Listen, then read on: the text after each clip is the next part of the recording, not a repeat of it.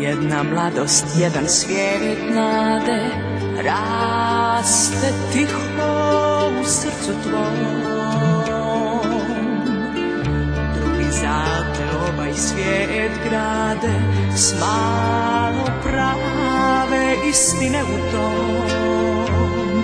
Pričaju ti priče te I svaka ima svoj svetan kraj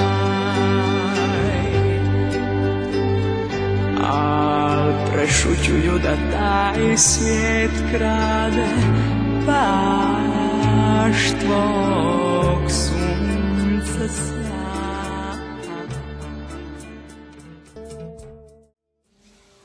Odrastao sam samo sa majkom. Oca nisam nikad ni upoznao. Moj putokaz bili su majčina ljubav i požrtvovanje. Iz malog mesta u Velegrad dovela me je želja da usavršim sviranju u srednjoj muzičkoj školi. Muzika me oslobađa, nadahnjuje i otvara nove vidike, mnogima nedostižne. Tad postajem nenadmašan, silan i zadovoljan, ali izgleda da se sreća skupo plaća, a uspeh teško prašta.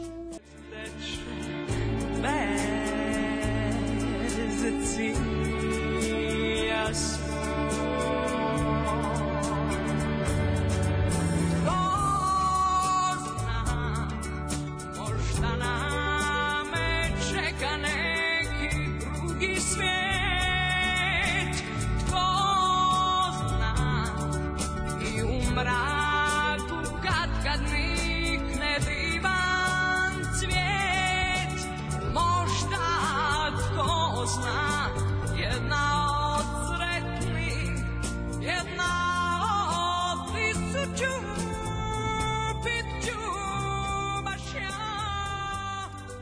da Umesto reči podrške i divljenja, novo okruženje me je bez razloga osramotilo. Zli jezici su me etiketirali kao ženskog petka, samo zato što se bolje snalazim i razumem žensko društvo.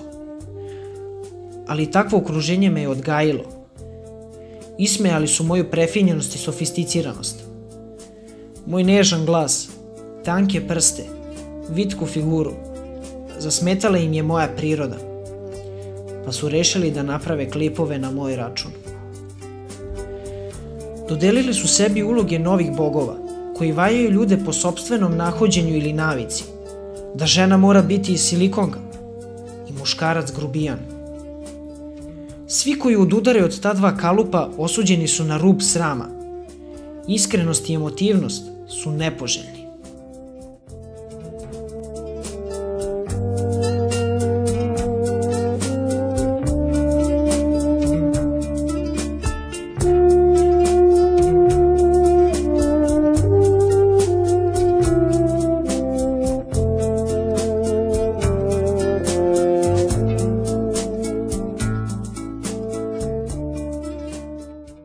Deklarisam da sam neko ko nisam, od nekog ko me zapravo dovoljno i ne poznaje.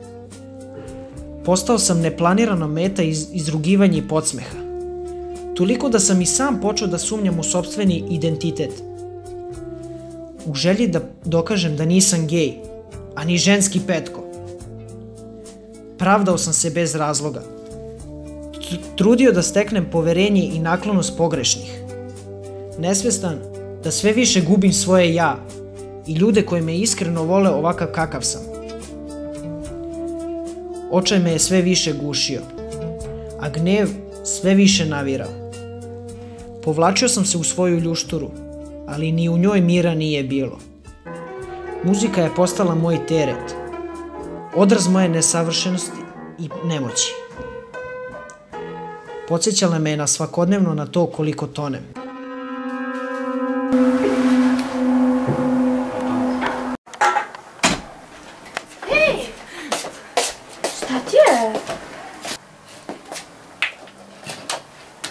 Jesi okej? Šta je bilo? Gluv za pohvale dragih ljudi. Gubeći samopouzdanje, naš prijatelj bi verovatno bio paralisan mržnjom i osjećajem nemoći koja je sve više navirala i izjedala ga.